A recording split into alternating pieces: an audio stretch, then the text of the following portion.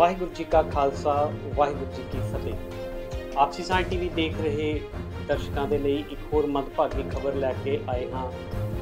ਜਿਵੇਂ ਕਿ ਤੁਸੀਂ ਜਾਣਦੇ ਹੋ ਕਿ ਗੁਰਦੁਆਰਾ ਸਾਹਿਬ ਦੇ ਵਿੱਚ ਬੇਅਦਬੀ ਦੀਆਂ ਘਟਨਾਵਾਂ ਦਿਨੋ ਦਿਨ ਹੋਰ ਵੱਧਦੀਆਂ ਜਾ ਰਹੀਆਂ ਹਨ। ਪਿਛਲੇ ਦਿਨੀ ਜੰਮੂ ਦੇ ਵਿੱਚ ਵੀ ਰਾਣੀ ਤਲਾਬ ਗੁਰਦੁਆਰੇ ਦੇ ਵਿੱਚ ਇੱਕ ਬੇਅਦਬੀ ਹੋਈ ਸੀ। ਉਸ ਤੋਂ ਬਾਅਦ ਨਾਲ ਹੀ ਥੋੜੇ ਦਿਨ ਦੇ ਬਾਅਦ ਪਟਿਆਲਾ ਵਿਖੇ ਵੀ ਇੱਕ ਬੇਅਦਬੀ ਪੰਜਾਬ ਦੇ ਵਿੱਚ ਹੋਈ ਹੈ ਤੇ ਅੱਜ ਸਵੇਰੇ ਕਰੀਬ 7:30 ਵਜੇ ਰਾਜਪੁਰਾ, ਪੰਜਾਬ ਦੇ ਵਿੱਚ ਰਾਜਪੁਰਾ ਤੇ ਇੱਕ ਗੁਰਦੁਆਰਾ ਸਾਹਿਬ ਦੇ ਅੰਦਰ ਦੀ ਬੇਅਦਬੀ ਦੀ ਘਟਨਾ ਜਿਹੜੀ ਹੈ ਉਹ ਹੋਈ ਹੈ।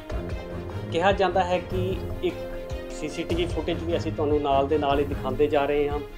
ਕਿਹਾ ਜਾਂਦਾ ਹੈ ਕਿ ਇੱਕ ਸ਼ਖਸ ਜੋ ਨੰਗੇ ਸਿਰ, ਬੂਟਾਂ ਸਨੇ ਸ੍ਰੀ ਦਰਬਾਰ ਸਾਹਿਬ ਦੇ ਅੰਦਰ ਚਲਾ ਗਿਆ, ਗੁਰੂ ਗ੍ਰੰਥ ਸਾਹਿਬ ਜੀ ਦੀ ਹਜ਼ੂਰੀ ਦੇ ਵਿੱਚ ਚਲਾ ਗਿਆ, ਉਹਨੂੰ ਮੌਕੇ ਤੇ ਜਿਹੜਾ ਹੈ, ਉਹ ਸੇਵਾਦਾਰਾਂ ਨੇ ਫੜ ਕੇ ਬਾਹਰ ਕੱਢਿਆ। ਨਹੀਂ ਤਾਂ ਹੋ ਸਕਦਾ ਹੈ ਕਿ ਇੱਕ ਬਹੁਤ ਹੀ ਵੱਡੀ ਜਿਹੜੀ ਉਹ ਗੁਰੂ ਗ੍ਰੰਥ ਸਾਹਿਬ ਜੀ ਦੇ ਕੋਲ ਪਹੁੰਚ ਕੇ ਕੋਈ ਵੱਡੀ ਘਟਨਾ ਨੂੰ ਅੰਜਾਮ ਦੇ ਸਕਦਾ ਸੀ। ਸੇਵਾਦਾਰਾਂ ਦੀ ਮੁਸਤੈਦੀ ਅਤੇ ਸੰਗਤ ਦੀ ਮੁਸਤੈਦੀ ਦੇ ਨਾਲ ਇਸ ਘਟਨਾ ਨੂੰ ਬੜੀ ਹੀ ਛੇਤੀ ਉਸ ਬੰਦੇ ਨੂੰ ਕਾਬੂ ਕਰਕੇ ਤੇ ਉਸ ਤੋਂ ਬਾਅਦ ਉਹਦੀ ਕੁੱਟਮਾਰ ਕਰਕੇ ਵਧੀਆ ਤਰੀਕੇ ਦੇ ਨਾਲ ਤੇ ਫਿਰ ਉਹਨੂੰ ਪੁਲਿਸ ਦੇ ਹਵਾਲੇ ਕੀਤਾ ਗਿਆ ਕੀਤਾ ਗਿਆ।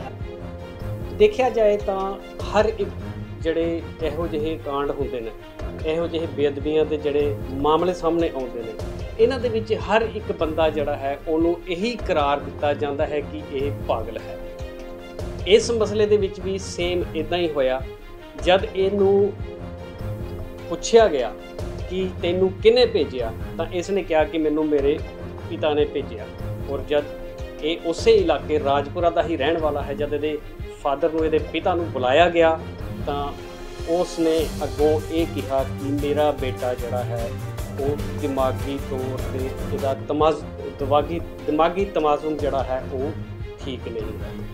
ਕਿਉਂ ਹਰ ਇੱਕ ਦਿਮਾਗ ਤੋਂ ਪੈਦਲ ਜਾਂ ਦਿਮਾਗ ਤੋਂ ਤਮਾਜ਼ੁਮ ਜਿਨ੍ਹਾਂ ਦਾ ਖਰਾਬ ਹੈ, ਉਹਨਾਂ ਨੂੰ ਹਰ ਵਾਰ ਗੁਰਦੁਆਰਾ ਜਾਂ ਗੁਰੂ ਘਰ ਹੀ ਕਿਉਂ ਲੱਭਦੇ ਹਨ ਇਹ ਬੜੀ ਸੋਚਣ ਅਤੇ ਵਿਚਾਰਨ ਵਾਲੀ ਗੱਲ ਹੈ। ਖੈਰ, ਇਸ ਘਟਨਾ ਨੂੰ ਬੜੀ ਹੀ ਮੰਦਭਾਗੀ ਘਟਨਾ ਕਿਹਾ ਜਾ ਰਿਹਾ ਹੈ, ਨਿਖੇਧੀ ਕੀਤੀ ਜਾ ਰਹੀ ਹੈ, ਸੰਗਤ ਵੱਲੋਂ ਵੀ ਇਹ ਕਿਹਾ ਜਾ ਰਿਹਾ ਹੈ ਕਿ ਜੇਕਰ ਇਸ ਮਸਲੇ ਦੇ ਵਿੱਚ ਵੱਧ ਤੋਂ ਵੱਧ ਧਾਰਾਵਾਂ ਲਗਾ ਕੇ ਇਸ ਬੰਦੇ ਦੇ ਉੱਤੇ ਵਧੀਆ ਕਾਰਵਾਈ ਨਹੀਂ ਕੀਤੀ ਜਾਂਦੀ, ਤਾਂ ਫਿਰ ਸੰਗਤ ਜਿਹੜੀ ਹੈ ਉਹ ਆਪ ਕੁਝ ਫੈਸਲੇ ਕਰੇਗੀ।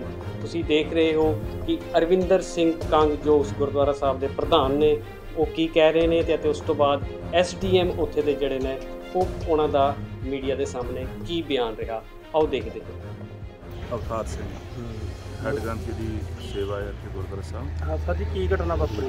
ਸਵੇਰੇ ਸਵਾ ਕੁ ਸੱਤ ਵਜੇ ਇਹ ਸ਼ਖਸ ਅੰਦਰ ਵੜਿਆ ਗੁਰੂ ਸਾਹਿਬ ਦੇ ਦਰਬਾਰ ਦੇ ਵਿੱਚ। ਸੇਵਾਦਾਰਾਂ ਨੇ ਫੜ ਕੇ ਇਹਨੂੰ ਇੱਕ ਵਾਰ ਬਾਹਰ ਕੀਤਾ ਹੈ। ਇਹ ਫਿਰ ਦੁਬਾਰਾ ਅੰਦਰ ਵੜ ਕੇ ਇੱਕ ਬੀਬੀ ਦੇ ਵੀ ਇਹਨੇ ਥੱਪੜ ਮਾਰਿਆ। ਤਾਂ ਉੱਥੋਂ ਫੜ ਕੇ ਇਹਨੂੰ ਫਿਰ ਅਸੀਂ ਅੰਦਰ ਬਿਠਾਇਆ ਜੋ ਸਾਨੂੰ ਪਤਾ ਲੱਗਿਆ ਨਾਲ ਦੀ ਨਾਲ ਸਾਰੇ ਸਿੰਘ ਸਟਾਫ ਜਿੰਨਾ ਸੀ ਇਕੱਠਾ ਹੋ ਗਿਆ। ਇਹਨੂੰ ਪੁੱਛਗਿੱਛ ਕੀਤੀ ਇਹ ਦੱਸਦਾ ਨਹੀਂ ਸੀ ਕੁਝ ਬੋਲਦਾ ਨਹੀਂ ਸੀਗਾ ਬਾਅਦ ਵਿੱਚ ਇਹ ਦੱਸਦਾ ਵੀ ਮੇਰੇ ਫਾਦਰ ਨੇ ਮੈਨੂੰ ਇੱਥੇ ਭੇਜਿਆ। ਇੰਨਾ ਕੀ ਬੋਲਿਆ ਇਹ? ਹਾਂ ਉਸ ਤੋਂ ਬਾਅਦ ਇਹਦੇ ਫਾਦਰ ਉੱਥੇ ਆਏ।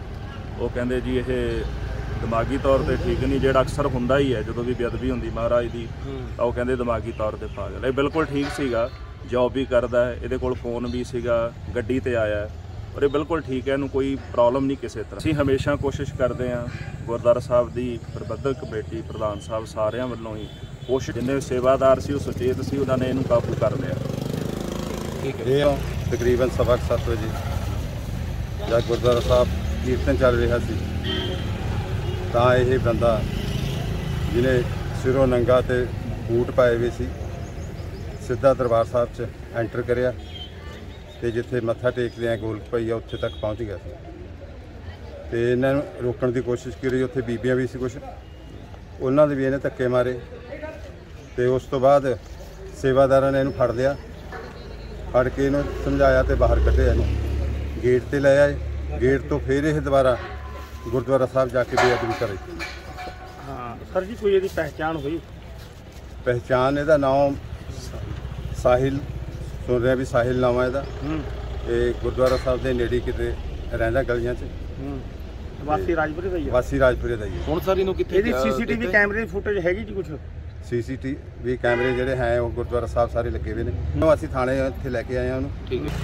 ਕਮੇਟੀ ਵੱਲੋਂ ਵੀ ਇਹ ਹੋਰ ਜ਼ੋਰ ਮੰਗ ਕਰਦੇ ਹਾਂ ਵੀ ਤੇ ਸਖਤ ਤੋਂ ਸਖਤ ਜਿਹੜੀਆਂ ਧਰਾਵਾਂ ਲਗਾਈਆਂ ਜਾਣ ਸੰਗਤ ਦੇ ਵਿੱਚ ਬਹੁਤ ਰੋਸ ਹੈ ਇਹ ਨਾ ਹੋਵੇ ਸੰਗਤ ਜਿਹੜੀ ਇਕੱਠੀ ਹੋ ਕੇ ਫੇਰ ਕੋਈ ਗਲਤ ਤੇ ਕਰੇ ਮਹਾਰਾਜ ਦੀ ਭੀੜ ਦੇ ਨੇੜੇ ਪਹੁੰਚ ਗਏ ਸੀਗੇ ਸਰ? ਬਿਲਕੁਲ ਨੇੜੇ ਪਹੁੰਚ ਚੁੱਕਿਆ ਸੀਗਾ ਪਰ ਸੇਵਾਦਾਰਾਂ ਨੇ ਬਹੁਤ ਹੀ ਹਿੰਮਤ ਕਰਕੇ ਇਹਨੂੰ ਜਿਹੜਾ ਕਾਬੂ ਕੀਤਾ। ਪੈਰਾਂ 'ਚ ਕੀ ਪਾਈ ਹੋਈ ਸੀ? ਪਰ ਪੈਰਾਂ ਵਿੱਚ ਇਹਨੇ ਬੂਟ ਪਾਏ ਹੋਏ ਸੀਗੇ।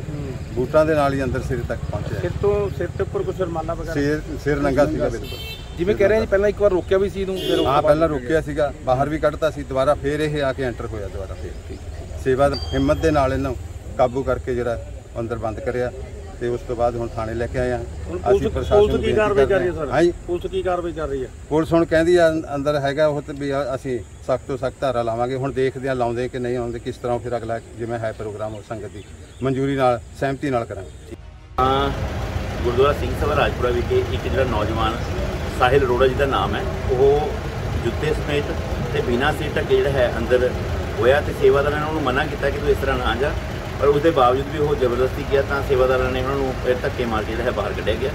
ਤੇ ਪੁਲਿਸ ਜਿਹੜਾ ਹੈ ਉਸ ਜਿਹੜਾ ਸਾਹਿਲ ਅਰੋੜਾ ਨੂੰ ਥਾਣੇ ਲੈ ਜਾ ਚੁੱਕੀ ਹੈ। ਜੋ ਕਾਨੂੰਨ ਮੁਤਾਬਕ ਕਾਰਵਾਈ ਬਣਦੀ ਹੈ ਉਹ ਲਾਜ਼ਮੀ ਕੀਤੀ ਜਾਵੇ। ਜਿਵੇਂ ਸਰ ਸਰ ਬੀਤੇ ਦਿਨੀ ਪਟਿਆਲਾ ਵੀ ਬੇਇੱਜ਼ਤੀ ਹੋਈ ਸੀ ਅੱਜ ਰਾਜਪੁਰੀ ਵੀ ਹੋ ਗਈ। ਕੋਈ ਖਾਸ ਪ੍ਰਬੰਧ ਵੀ ਆਪਣੇ ਵੱਲੋਂ ਕੀਤੇ ਜਾ ਰਹੇ ਨੇ ਜੀ?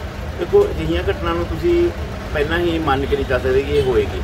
ਪਰ ਜਿੱਦਾਂ ਜਦੋਂ ਕੋਈ ਘਟਨਾ ਇਸ ਤਰ੍ਹਾਂ ਦੀ ਵਾਪਰ ਜਾਂਦੀ ਹੈ ਤਾਂ ਪੁਲਿਸ ਪ੍ਰਸ਼ਾਸਨ ਸਾਰੀ ਜਗ੍ਹਾ ਸਤਰਕ ਹੋ ਕੇ ਜਿਹੜਾ ਹੈ ਉਹ ਸੁਰੱਖਿਆ ਪ੍ਰਦਾਨ ਕਰਦਾ।